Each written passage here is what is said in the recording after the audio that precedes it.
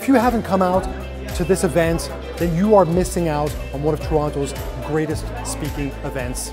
If you want to have a fun night out, if you want to see art and passion in the spoken word, if you want to laugh, if you want to cry, if you are in any way interested in hearing people inspire you, make you cry, make you laugh, come to a speaker slam. It's so much fun.